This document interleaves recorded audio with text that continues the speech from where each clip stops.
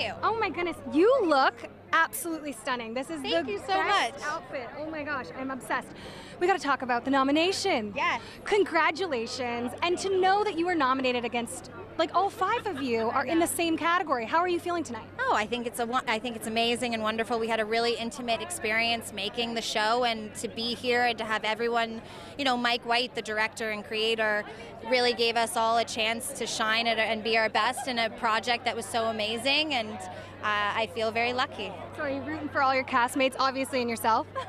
I'm rooting for everyone. I just think it's really I, being here. It's my first Emmy nomination. I've been doing this 20 years, and it's just an honor to, to be here under these circumstances. I mean, I feel like it's so great watching your career because you came to Toronto back in the day when you were doing Chainsaw Massacre, and you came into our studio, and to watch you continue to grow as an actress has been so great. And this role you were so phenomenal in. So you deserve this nomination. Have fun tonight, okay? Thank you so much. Enjoy. Bye.